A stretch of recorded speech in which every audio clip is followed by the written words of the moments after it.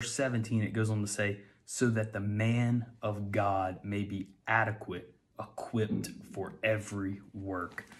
The Lord has equipped you for every single work He has called you to, and He has equipped you to fulfill your role in these times. You do not have to be fearful.